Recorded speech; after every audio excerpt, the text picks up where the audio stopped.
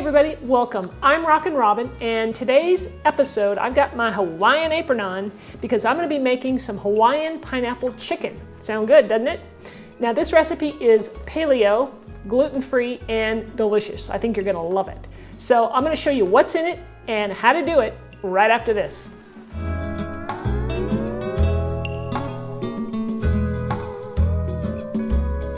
All right guys, let's go over our ingredients and get started.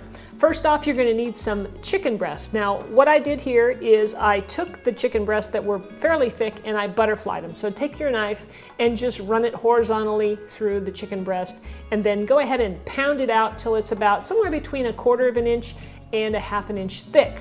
This will help it to cook up a lot quicker. Next, I have my pineapple. Now, mine's in a can today. You could use, certainly could use fresh if you want to, but this makes it nice and easy, and I'm using two styles here. I'm using crushed pineapple in its own juice and the chunks. I like the combination. I think it works great in this recipe. We'll also need some onions. Now, I just did a rough chop here, not too fine. I want the chunks in this recipe. I've got a bell pepper, which I did basically the same thing. And for those of you that are new to cooking, you just cut your bell pepper in half, pull out that stem, and then give it a nice chop.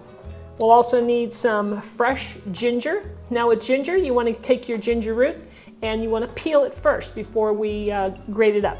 So you use, the best thing to do is to use a spoon, the back of a spoon, and just on the edge and just scrape it, it comes right off. Then you use a microplane and you can uh, just, you know, grate it and then measure it with a, you know, scoop it out of that microplane and measure it into a teaspoon until you get the amount you need. We'll also need some fresh garlic. Uh, we'll need some honey. Uh, here you can use, I'm using raw, fresh honey. Um, you can add or subtract the amount of sweetness that you want, so it's nice to be able to play with that. I'm using some coconut aminos here instead of soy sauce for those of you that are sensitive to soy. Uh, it's a great substitute and you can get that in your local grocery store. Sesame oil, we're gonna use just a touch of that for some delicious flavor. We'll need some garlic powder, salt, I'm going to be using some arrowroot, which is a good substitute for cornstarch for thickening up our sauce just a little bit. I have some cauliflower and uh, a little bit of olive oil. So guys, I've started off my recipe here by processing the cauliflower so that it turns into sort of like a rice. That's what it's going to look like. So I just cut off the florets and placed them into my food processor here. You don't want to overfill it. Let's keep it about half full and then just pulse away until you get something like this. And it just, it just resembles you know, rice. And this is gonna cook up really quick. I mean, five minutes and we'll be done. It's, actually a little faster to cook up than, than rice. All right, guys, we're gonna start off with our sauce here. I'm gonna start with my coconut aminos. I'm gonna put it into a saucepan. Pineapple, this is our crushed pineapple, and make sure you add all the juice in there. We want all that flavor in there, so don't drain it out. Here's the chunks. This one actually has a little bit more juice to it, which is good. We've got the ginger that's been minced up. We're gonna add that. I'm gonna take just a portion of that garlic that I uh, had it uh, minced and we're gonna place that in there. Next goes the honey. Now like I said before guys, you can change it up with the honey. You can add a little bit more if it's not sweet enough for you you know, because we'll be testing this. I'm going to taste it before, you know, I actually serve it with the with the chicken. So get your honey in there. I'm just going to put just a drop of the sesame oil, maybe a half a teaspoon. Now I'm going to turn the temperature up to medium low, and then we're just going to bring this up to temperature. Once this gets warm and the, and the honey melts, give it a taste and see where you're at. That's nice. Perfect for me. I love it. Not too sweet, but definitely you've got that hint of sweetness in there. So the only thing left we have to do here now is to thicken this up. Take our arrowroot and I'm gonna add a little bit of coconut aminos to it, just enough to make it um, a little paste. Just stir it around until there are no lumps. Pour this in slowly. Give it a stir and you'll be able to see that it will thicken up pretty quick. And I'm just gonna cook it like this for about another minute. All right guys, we're gonna start the chicken now. I've got my stainless steel pan here over on medium-high heat. And I'm just gonna put just a drop of olive oil in there. And I'm gonna start placing my chicken breast in here. Now it's gonna stick, so just let it stick, don't try and move it.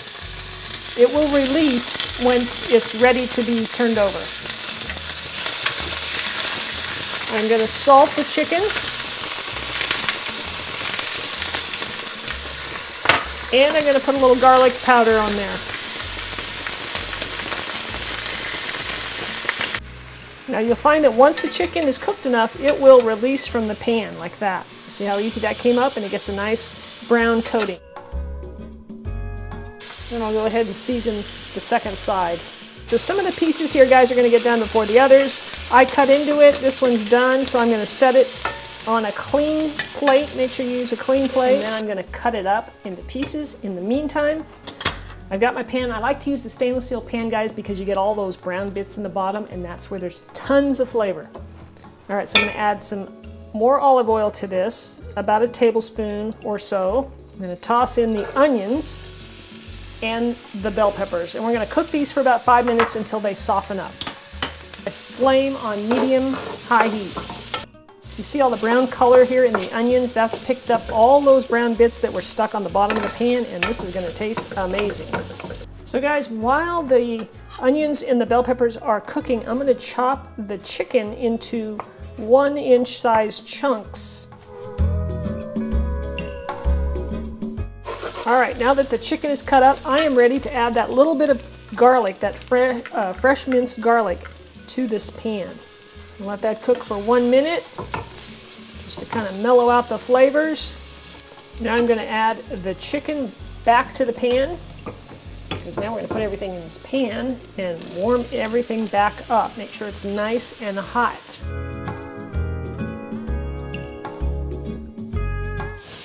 Now it's time for the sauce.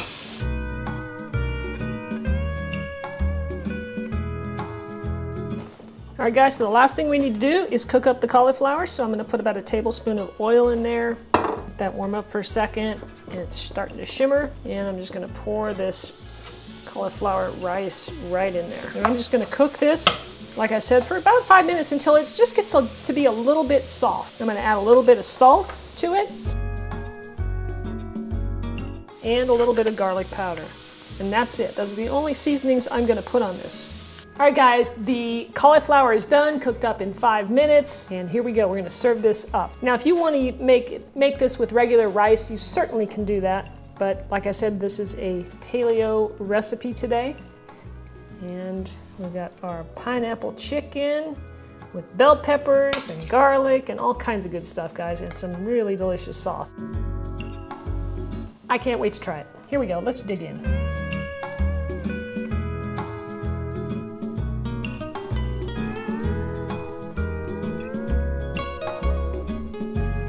Love those flavors, guys. This is delicious. You gotta get your hula on and make this recipe, let me tell you.